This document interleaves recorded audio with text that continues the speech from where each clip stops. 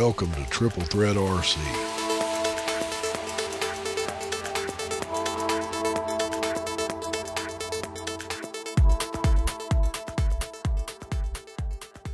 Five thousand milliamp, and the first cell's above four volts, 4.1.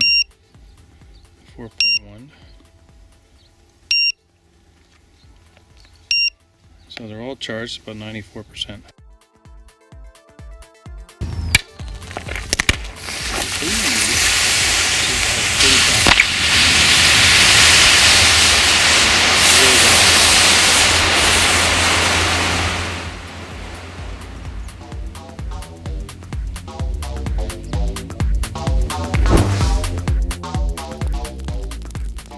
Hi guys, this will be the first in a series of videos we're going to do about LiPo batteries. The videos are really intended for people that are new to the hobby or those of us that have become complacent or perhaps even those of us that weren't really aware that LiPos can pose such a hazard. Today's video is just going to give you an idea about how much energy there still is in a LiPo that's ready to go to the boneyard. So this is a 5S 5000 pack that was part of a pair that Danny was using in his pattern ship. And after almost a couple of hundred cycles, these batteries just didn't have enough energy left to uh, allow Danny to fly the plane properly. So what we've done here is drive a spike through all five cells just to create a dead short situation and you can see it didn't take long for the battery to react. Now keep in mind this is an old pack that could barely keep a plane in the air anymore and you can see it still packs quite a punch.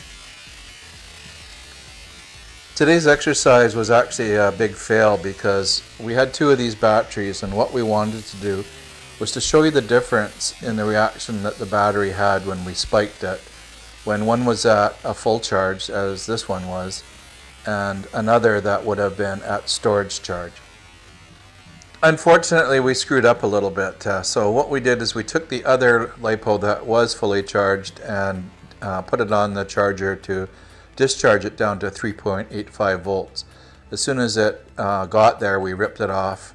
Uh, but it turned out that we ripped it off too soon and we didn't leave it on long enough to let it stabilize at 3.85.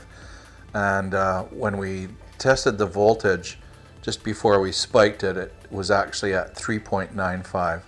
So we went ahead and spiked it anyway, and the reaction was still quite violent. So we missed the opportunity to show you what um, reaction a LiPo would have if it was at storage voltage, which would be considerably less. So we're going to have to have a do-over and bring that to you in another video. If there's a takeaway or a recommendation stemming from today's video, it would be to never store fully charged packs in your home. There's two main reasons to not store fully charged LiPos in your home. One is the risk of fire, as we've demonstrated in this video. And secondly, LiPos don't like to be stored at full at a full charge. It, uh, it will shorten their life and uh, there is a storage voltage setting on your charger for a reason and we're going to suggest that you use it. Having said that, uh, there are many times when we've got an early start the next day and we charge up the night before and there is a safe way to, to temporarily store fully charged packs and we'll cover that off in another video. So I hope you found this a little bit interesting and we'll look forward to seeing you on the next video. Take care and bye bye for now.